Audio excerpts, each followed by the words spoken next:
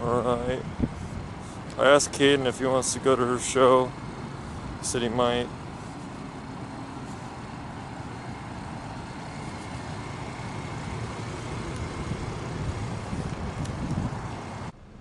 I should just block it, to be honest. Yeah, it's called like fucking Stink, Bubba, Lily, or whatever the fuck her dumbass dogs' names are. So dumb. Yeah, they they never ever ever ever went on walks. I remember when we lived at the apartment in um in Huntington.